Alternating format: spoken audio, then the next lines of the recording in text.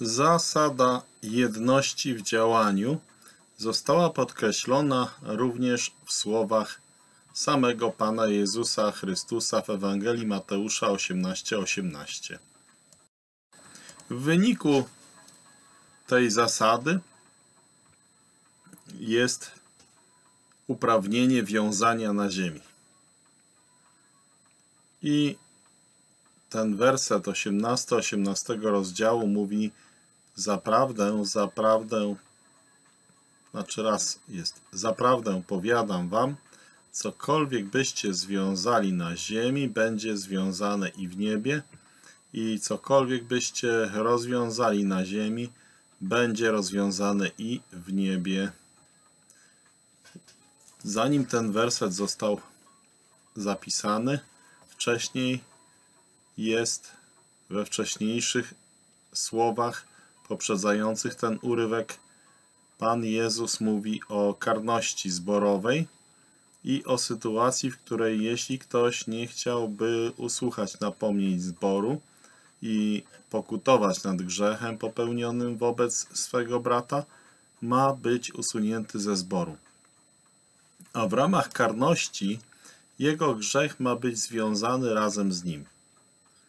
Uniwersalność zasady związywania i rozwiązywania jest kluczową sprawą.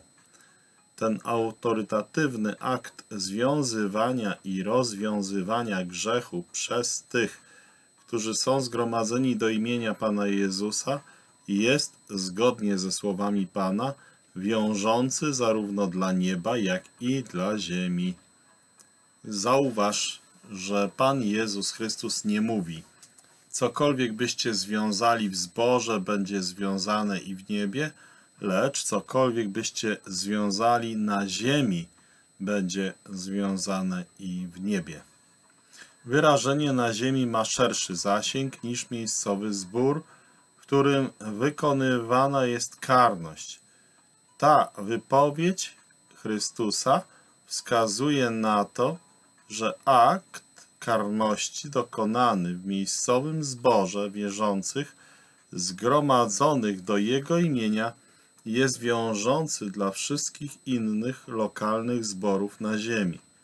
To, co zostaje rozstrzygnięte w zborze w zgodności z Jego słowem, jest związane na całej ziemi i zaakceptowane w niebie, i dlatego musi zostać przyjęte jako takie przez wszystkie zbory. Sprzeciwianie się temu sprzeciwianie się temu oznacza praktyczne zaprzeczenie jedności ciała Chrystusowego i praktykowanie zasady niezależności zborów przeciwnej słowom Pana Jezusa Chrystusa, który powiedział jasno i wyraźnie, że akt karności miejscowego zboru jest wiązaniem zarówno na ziemi, jak i w niebie.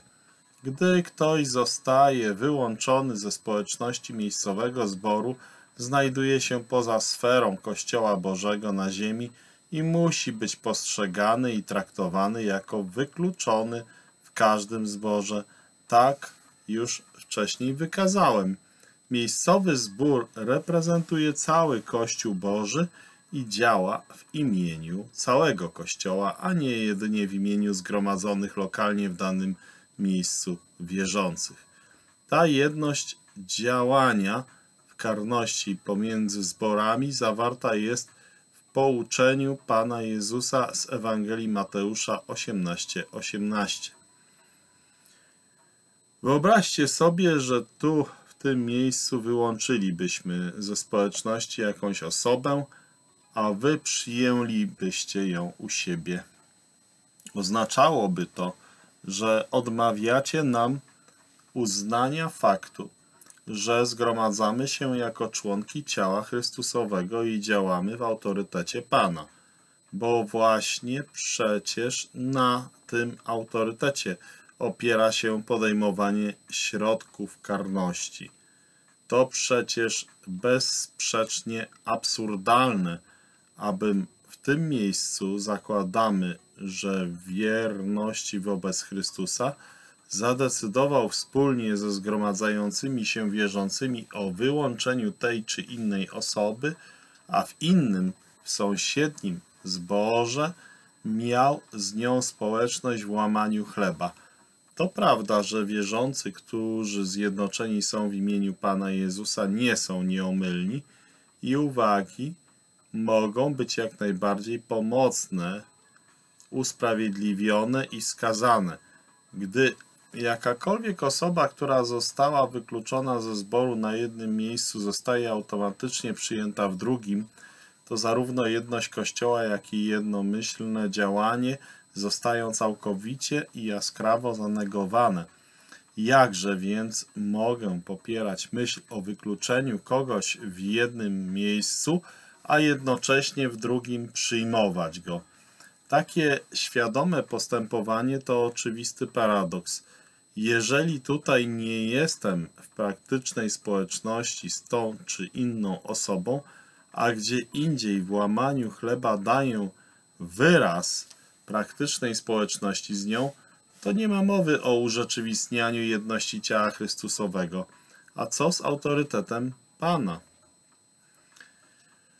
Podjęcie błędnej decyzji w kwestii karności jest możliwe i następnym razem byśmy się tym zajęli.